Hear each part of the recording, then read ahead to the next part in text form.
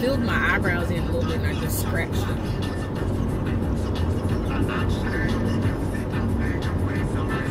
Hello, people. We are headed to Florida. It's almost 10.30.